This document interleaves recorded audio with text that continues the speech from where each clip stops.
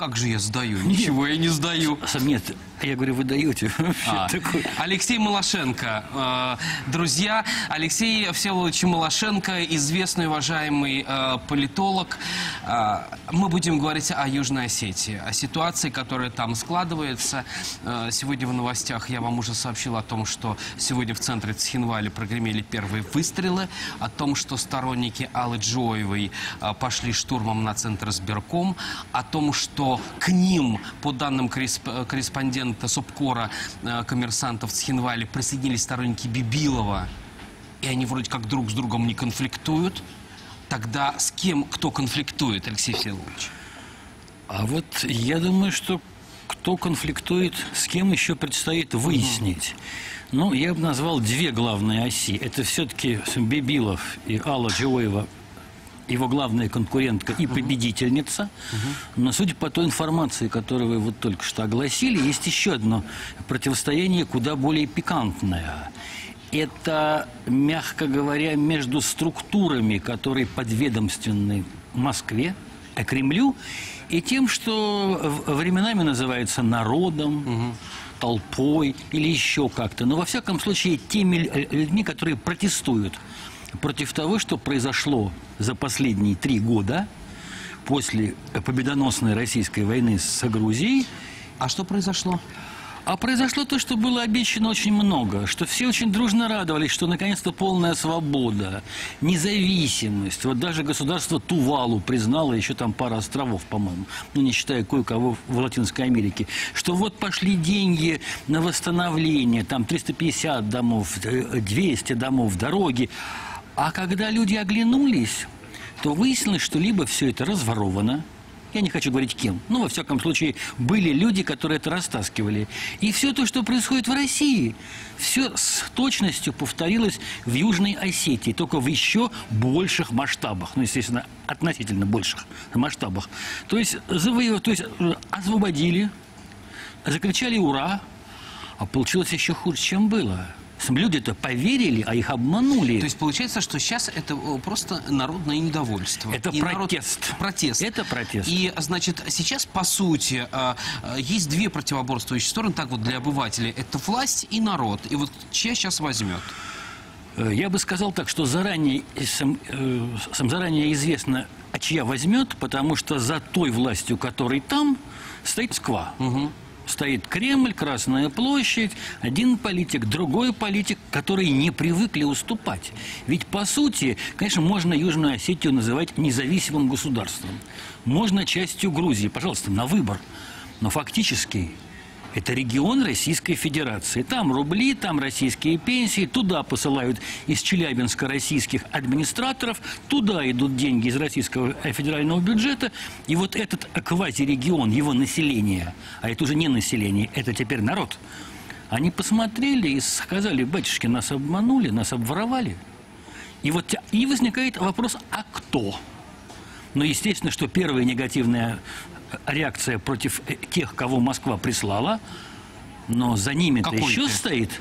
Это, это и какой-то, это и Бибилов, это и Бровцев, так сказать, выходец из Челябинска, э, премьер-министр. То есть все то, что нам подарила Москва, все это, ну, как бы вам сказать, не работает, а может быть даже и ворует. Вот против этого все произошло. А, Алексей Всеволодович, а, с Джиоевой сейчас можно будет договориться? Ведь Москва как-то сейчас должна найти выход из этой ситуации, это очевидно. Каким может быть этот выход? Может быть, это действительно Москва э, подкупит ее, я не знаю, как-то уговорит, умаслит, я, ну, я не знаю, каким образом? У Москвы, видимо, есть два принципиальных стратеги- стратегических выхода. Либо додавить. По-моему, сейчас Москва этим и занимается.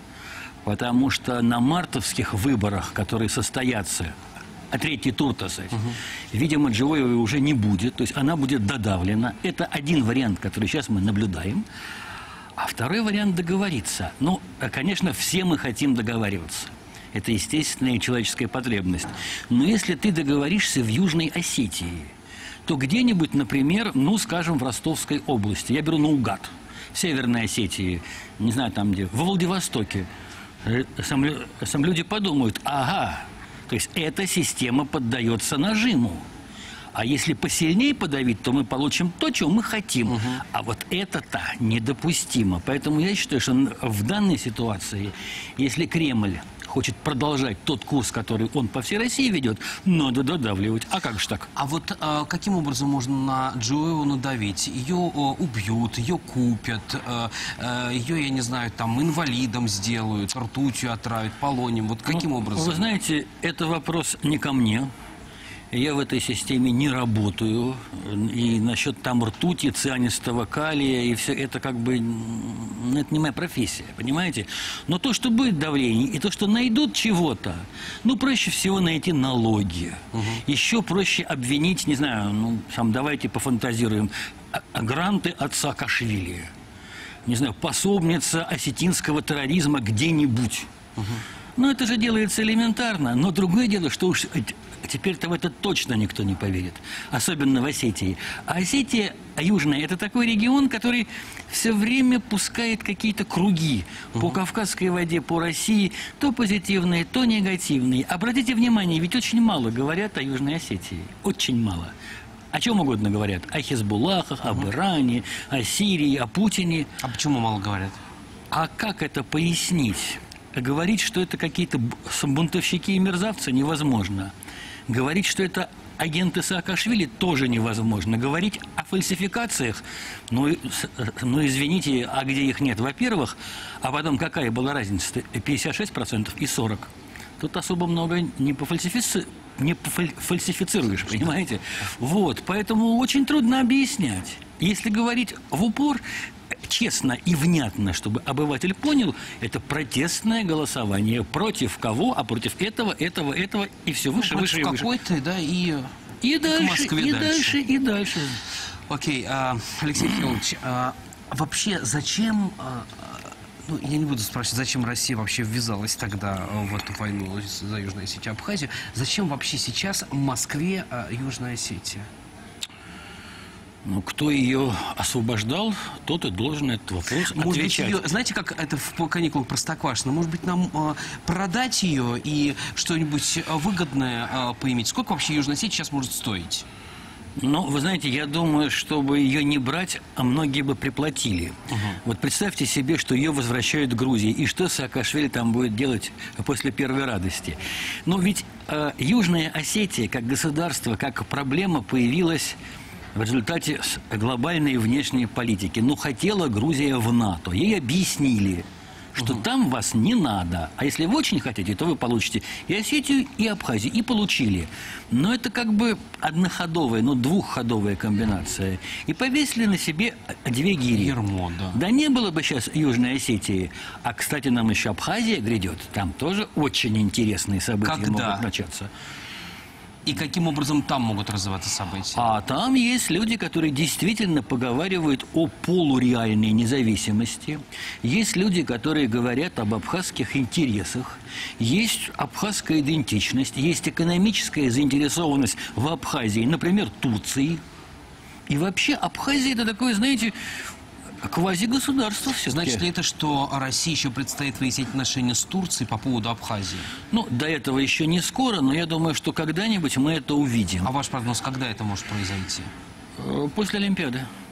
2014 года? Да. Ну, сейчас там уже идет накат, но потом посмотрим. Это может быть война или что это? Ну, вы задаете такие вопросы, на которые у меня нет ответа. Но то, что существует понятие абхазского национализма, причем абхазского государственного национализма, не этнического, там только абхазы. Нет, там есть люди, которые живут.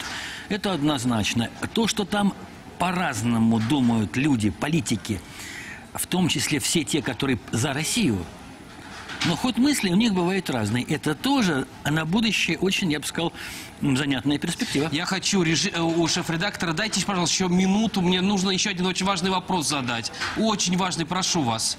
О, а, Алексей Всеволодович, пол, 30 секунд. Значит ли это, что сейчас Северокавказские республики России внимательно следят за Южной Осетией с точки зрения а, поговаривают о том, что тоже Северный Кавказ скоро соб- собирается отделиться от России? Северный Кавказ от России не отделится никогда, потому что Северный Кавказ живет на федеральные деньги, и без них он жить не может. А вот поиграть в, в эти вопросы. Набить себе цену. Вполне, да. Спасибо огромное. Алексей Малашенко, э, первый раз за год с лишним здесь у нас в студии «Дождя». Спасибо, Алексей Вам спасибо. Э, Друзья, через пять минут меня здесь сменит э, Мария Макеева. А сейчас пока инвест идеи дня, на этот раз об акциях ТНК «БП».